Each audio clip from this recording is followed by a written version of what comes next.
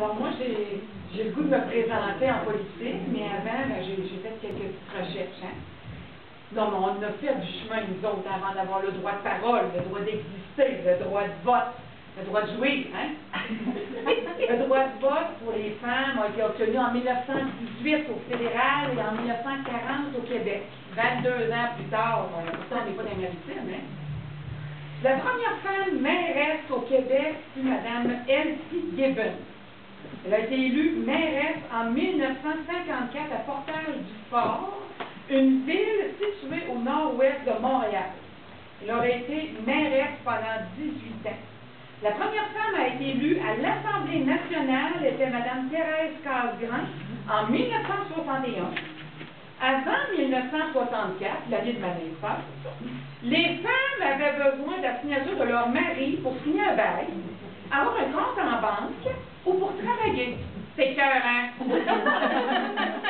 Évidemment, comment Mme Gibbons a pu être mairesse avant 1964, année étant l'année de l'adoption de la loi sur la capacité juridique de la femme mariée. Ben, c'est parce qu'elle devait veuve, célibataire, ou parce que son conjoint lui avait donné le consentement nécessaire qu'elle puisse assumer cette fonction. Dans le temps, les filles étaient sous la tutelle de leur père jusqu'au jour où elles disaient oui, je le veux, devant Dieu et les hommes, et devenaient sous la tutelle de leur mari. C'est ça. Le meilleur pour lui, puis le pire pour elle. Hein?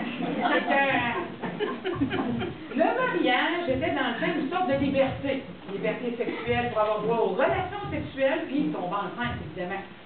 Toute une liberté, hein? T'as pas le droit de dire non, puis t'as pas le droit d'aimer ça non plus. Jeannette Bertrand a dit, quand j'ai eu mon premier enfant, c'était une fille. Son père lui a dit, c'est pas grave, ça prendra. C'est grave. Avant le droit de vote, le suffrage féminin était vu comme pouvant mettre en danger la famille, la société.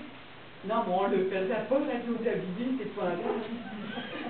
Il y a eu une époque où les femmes n'étaient que des accessoires.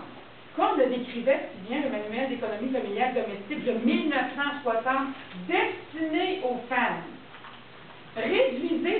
Au minimum. Au moment de son arrivée, éliminez tout bruit de machine à laver, de séchoir à l'air ou aspirateur. Essayez d'encourager les enfants à être calmes. Soyez heureux